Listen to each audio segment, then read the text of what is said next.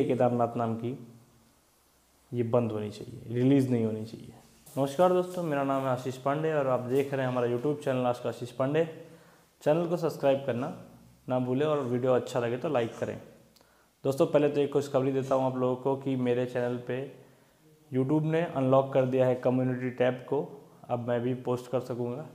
Community tab लगभग दस हज़ार सब्सक्राइबर होने के बाद ही ओपन होता है, लेकिन कल मेरे पास एक मेल आता है यूट्यूब की तरफ़ से कि आपका कम्युनिटी टैब खोल दिया गया है।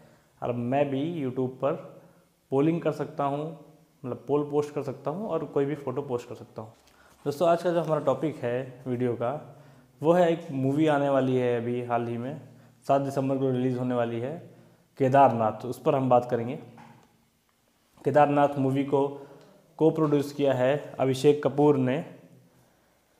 और प्रोड्यूस किया है Ronnie Screwvala R S V P film की तरफ़ से। मूवी को लिखा है कनिका ढिल्लो और अभिषेक कपूर ने खुद और मूवी में स्टार हैं सुशांत सिंह राजपूत हीरो की भूमिका में हैं और हीरोइन हैं सैफ अली खान की बेटी सारा अली खान।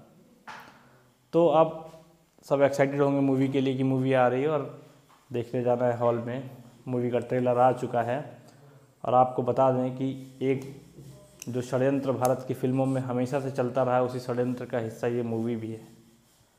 दोस्तों, केदारनाथ त्रासदी 2013 में उत्तराखंड में जो त्रासदी आई थी, उस त्रासदी के नाम पे ये जो मूवी बनाई गई है, उसकी कहानी का जो पूरा प्लॉट है, वो ऐसा है कि सुशांत सिंह राजपूत जो है, वो जो लोग दर्शन करने केदारनाथ जाते हैं, उनकी बहुत सेवा करता है, ऐसा एक मुस्लिम लड़का है जो केदारनाथ में रहता है।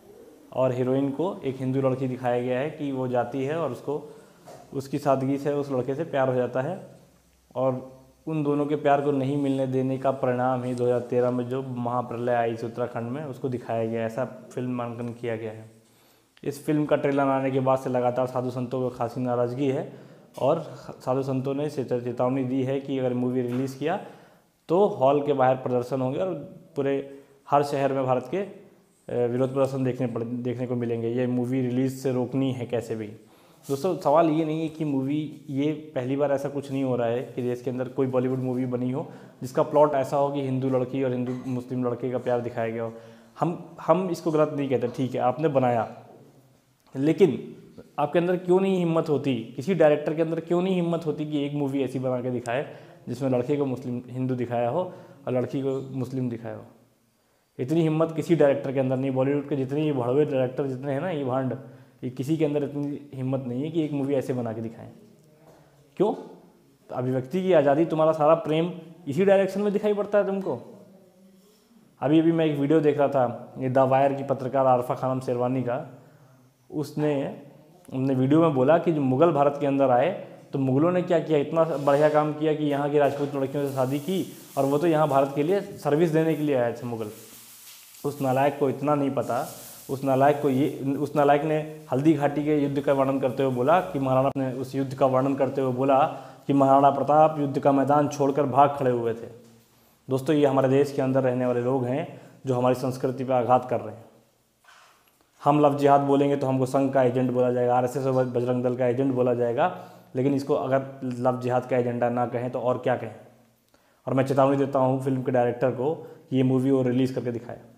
हम जैसे लाखों और करोड़ों, हम जैसे लाखों और करोड़ों देशभक्त ऐसे हैं। और इसको सो कॉल्ड जो जो ऐसा बोलते हैं सीडो सर्कुलर्स की ट्रोलर्स हैं हाँ हम ट्रोलर्स जो लाखों करोड़ों हैं, ऐसी मूवीज़ को ना रिलीज़ होने देंगे और ऐसी मूवी अगर रिलीज़ होती है तो उसका हाल ऐसा ही होगा, एक पिटी हुई, घिसी पिटी मूवी ऐसे देते रहो तुम लोग। और कोई भी कोई भी युवा कोई भी दोस्त मेरा और मेरे जानने वाले जो भी लोग हैं और जो इस देश की विचारधारा पर भरोसा रखते हैं, वो इस तरह की घटिया मूवी देखने कभी नहीं जाएँगे। अभिषेक कपूर, तुम्हारे जितने भी पैसे तुमने इस मूवी में लगाए हैं, सब डूब जाने वाले हैं, क्योंकि तुमने ये जो घिसी पिटी प्लॉट पे मूवी बनाने की कोशिश की है ना, अब ये देश के अंदर चलने वाला नहीं है। क्योंकि तुम्हारा बाप जो है ना, वो इस देश का प्रधानमंत्री बना हुआ है 2014 से, जब से इस देश के अंदर राष्ट्रवाद की लहर आई हुई है। और आरफा खानम शेरवानी, ये जो दो अपने चैनल के नाम पे जो चंदा मांग रहे हो दावायर के नाम पे कि मीडिया की अभिव्यक्ति की आज़ादी के लिए आप लोग पैसा डोनेट करें चैनल को। भीख मांगने पर उतर जाओगे अगले पाँच साल के अंदर तुम सब। ये जो पूरा गैंग चल रहा है रवीस और ये कौन है, ध्रुव राठी यूट्यूबर वो पागल आदमी, जो विदेश में बैठ के इंडिया की न्यूज़ का डिटेलिंग करता है कि क्या हो रहा है न्यूज़ में क्या सही, क्या गलत। रवीश कुमार, बेचारा कुछ नहीं कर पा रहा तो ध्रुव राठी का सपोर्ट ले रहा है अभी नए नए यूट्यूबर्स को बुला के। अपना चैनल बचा रहा है। अब बोले कि उसका चैनल बढ़ा रहा है या अपना चैनल बचा रहा है, पता नहीं। और आरफा खानम शेरवानी के लिए तो मैं एक दिन अलग से वीडियो बनाऊँगा पूरा।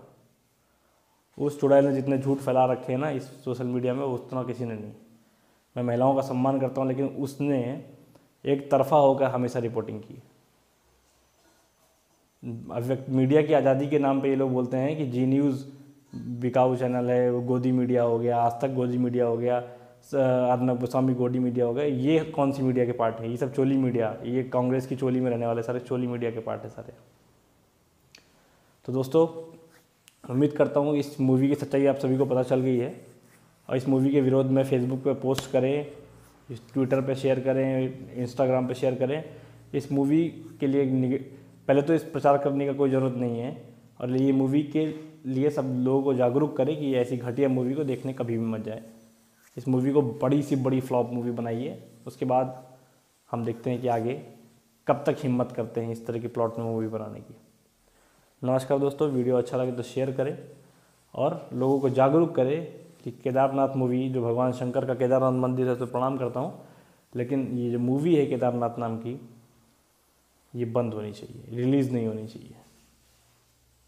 नमस्कार, जय हिंद, जय श्री राम।